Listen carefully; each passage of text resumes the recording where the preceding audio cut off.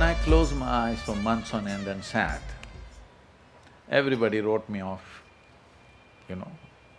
I went and sat in a small farm in a remote place, closed my eyes and simply sat.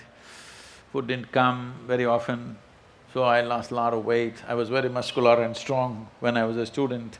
Then I closed my eyes and sat, food doesn't come by itself, you have to go behind it. So I lost a lot of weight and simply sat there. Of course, my parents were super disappointed. My teachers, one by one, they started coming and said, we thought you will do something, but you… you're gone, you finished. I said, uh, I have never been this great in my life. I might have lost weight, maybe I don't have money, but I have never felt life was this fantastic as it is right now. So what's fantastic about you? Because your… your friends have become engineers, doctors, IAS officers, what's fantastic about you? I said, I don't care what they have become, I know something fantastic has happened within me. Will this… will the world value this or not, who cares? In terms of life, I have found something super fantastic and that's all that matters. They thought I've lost my mind also.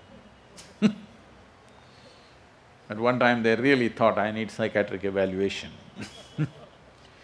simply because you are not trying to be better than somebody.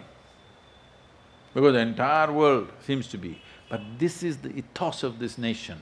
We never looked at how somebody else is doing. There are beautiful stories like this. On this side of the river there's one village, on that side of the river another village. They can see the people, they can hear them talking, they see the cooking smoke, but they never went across the river and met those people. Said, they seem to be living well, we are fine here, why should we go and see? They never went. People will say, oh, these have… these people have no exploration sense. Well, all the explorers went into India, Africa, Asia, uh, Australia. What have they done? Slaughter in the end. We never had such a need because this was a land of seeking. Seeking and knowing was the highest value. Conquering and establishing something was not the highest value. Establishing the human being was the biggest value, not establishing other edifices and structures in the society. This people thought is a disadvantage, but at the same time we became the most vibrant economy on the planet. For many centuries, we were the only real economy. Everybody wanted to come to India. Not because they were in love with you, because this was the richest land. That is why everybody wanted to come here. One Vasco da Gama reached here, many drowned in the ocean, but still they wanted to come because this was the richest land on the planet. Like right now, everybody wants to go to America because it's the richest nation on the planet. So, with… without a sense of conquest, we became a very vibrant economy. This is a very unique achievement which we need to bring back to this world because today our mode of economy itself is a conquest and it's a destruction.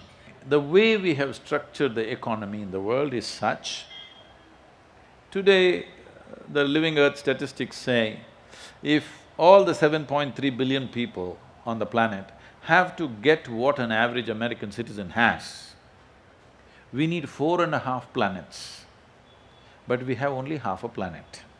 One half has been taken. If really economy succeeds on this planet as we are planning it right now, this is the end of the world, really. It keeps going into recession to save us. This is like the proverbial story where a man is sitting at the wrong… on the wrong end of the branch and cutting it. When he succeeds, he falls. We have taken to this mode, but we operated this country in a different way. Our success would not make us fall, our success would not be a detriment to somebody else. We have to bring this back, it's… we are part of the modern economic system now, it's not easy, but still individually we can all cultivate this. that our success is not just about this and that and what people think about us, about how we are. How we are as a life, how I am within myself. This is my success, isn't it?